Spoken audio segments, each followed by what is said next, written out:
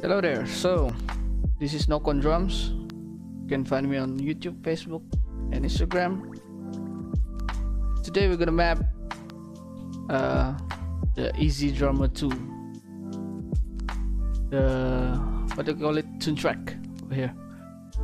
So all you gotta do is it's the same thing as before uh, my previous videos, but this is not.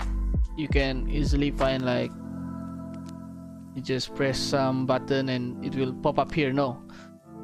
You have to refer it from a form of PDF so all you gotta do is after you install this go to the menu and sound libraries and pick your kit lah.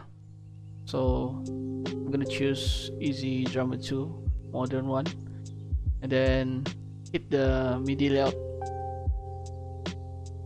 And it will show up this one. A PDF old school right? So this is it. Just like my previous videos. As you can see. What are you doing?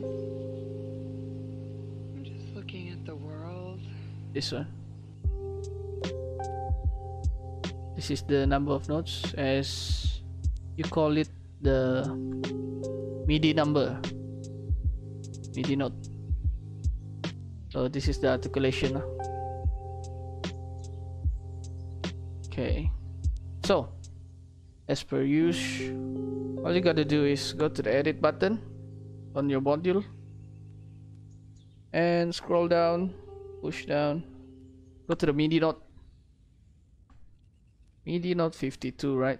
So all you gotta do is synchronize this number that you want. And for example hit the snare if you want to set up the snare. Hit the snare. And the MIDI dot on the module shows that it is number 38 right? So on the PDF it is 38 so in my case uh, because of I'm using user kit number 9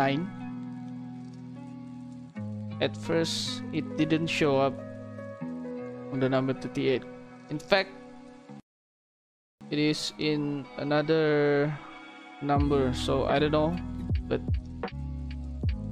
okay let's just say it is on number 44 so all you gotta do is refer this PDF refer to the number of the sound that you wanted. So if it is the snare let's say it's the snare center right? This one this one the center number 38 so just turn your knob to the left and reach the number 38 so that's it and then you're gonna hit save.